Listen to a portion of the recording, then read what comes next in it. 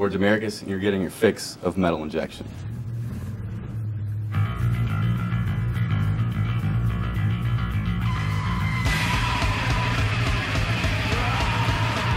Standing here with the dudes from Demiricous at the New England Metal Fest.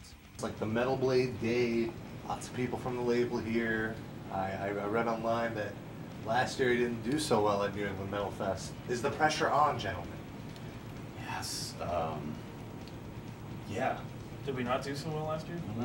I read Two years interview- ago. oh, Two years ago. I guess I guess the date was Absolutely the worst. Yeah. Uh, we played in front of five people that we totally fucked up in front of. So there's that. So those five people are no longer listening to you. I hate Maybe us. they, yeah, probably hate us. Should. It's, uh, It was ridiculous, man. Probably one of the most unprofessional performances ever. But it, it not so bad. Like he passed out. Yeah. We were really Why not? tired. and He was sick. He passed out and fell all over the drums.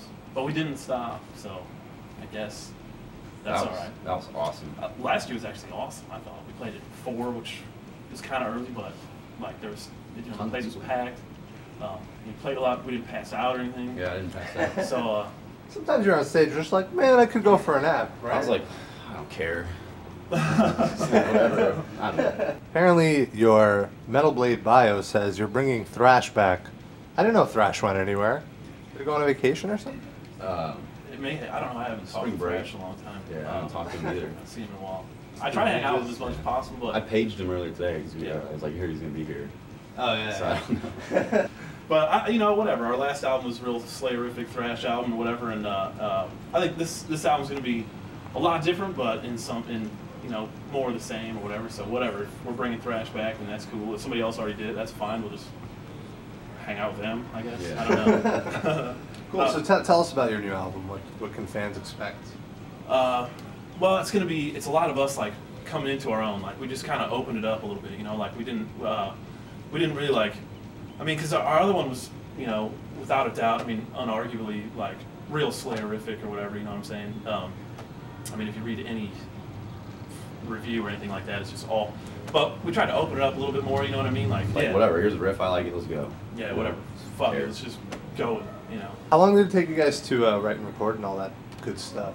Was it, was had, it a hard process? Yeah, kind of. I don't know. We had like uh, two and a half months to write it, and um, we recorded it for a month, and uh, it was, you know, run into a wall here and there, just like any other band, you know, whatever. But Yeah, we haven't really heard the whole thing like as a whole or whatever. Um, well, we um, you know, we had some. He like lost his voice, whatever, towards the end of the recording, whatever. So we spent all month there, and then uh, me and him are gonna go back and just redo and whatever. So we really don't have a good idea of like how it's really gonna sound. You know what I mean? Still in the process. it is Still- kind of yeah.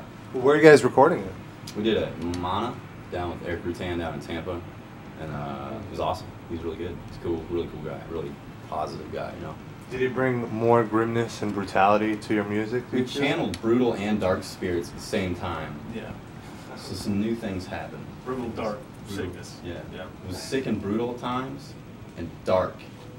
It's the darkest thing. to take. Usually after seven, it's dark. We made him schlep all the way to our hotel. You guys are pretty cool. Check out Demiricous on Metal Injection.